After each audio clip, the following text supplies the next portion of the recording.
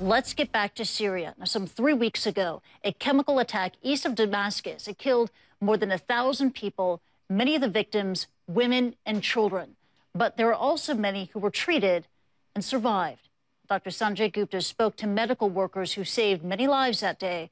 And he joins us now live from Beirut, Lebanon. And Sanjay, you've been in contact with medical workers who, again, they say that they treated patients after the sarin gas attack, but they're afraid to talk what is worrying them? Well, there's a lot of nervousness, I think, overall, Christy. Uh, you know, uh, a lot, lot of sides uh, unclear as to who uh, a potential retaliation, where it may come from. There are doctors who are more aligned, I would say, with the regime, those who are not with the regime. And I think all of that has led to some confusion and chaos. So we, for example, were going to speak to one of the doctors who uh, was in some of the videos uh, that have been released uh, showing the aftermath of that sarin gas attack. And what you come to find is that the, some of these doctors, uh, they're only communicating in very specific ways, by Skype phones, for example, and don't want to be located. So I'm not exactly sure what is driving that nervousness or if there's a specific worry or specific threats. But as reporters, uh, the, the outcome is that it becomes very challenging to try and continually locate people and do these stories. They appear for a period of time, then they disappear, and that's just sort of the nature of how things are out here. And, and Sanjay, talk us through the physical effects of chemical weapons like sarin gas. Now, we have seen the horrific videos on air and online. As a doctor, can you tell us what kind of suffering does it cause?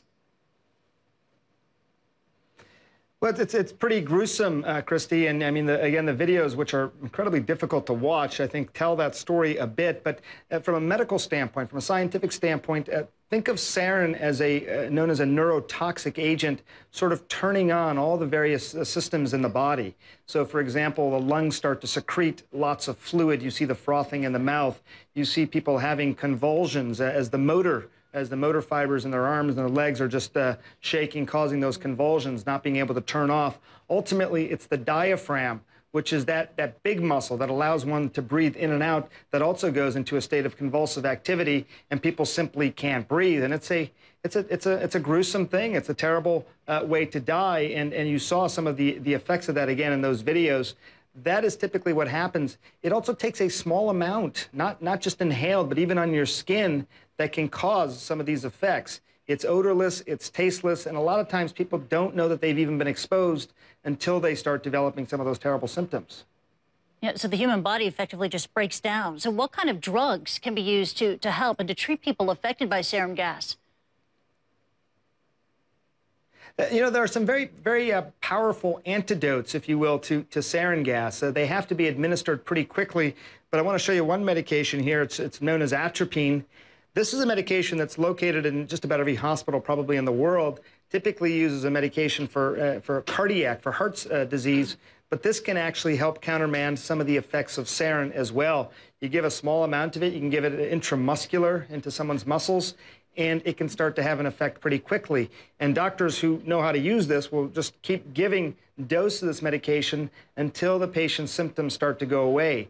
So it can be very effective. There are other medications like this as well. But again, you have to have it. You have to have people who know how to use it, and it has to be given quickly. And also, if there's a large scale attack, is that vial, is that kind of treatment still effective?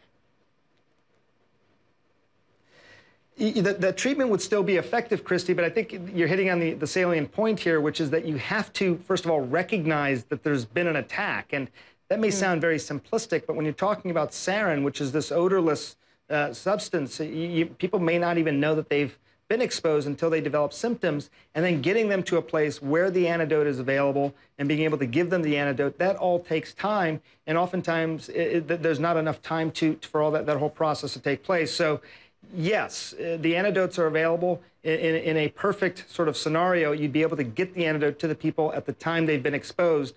But again, for all the reasons that I've mentioned, sometimes that's just very difficult to do.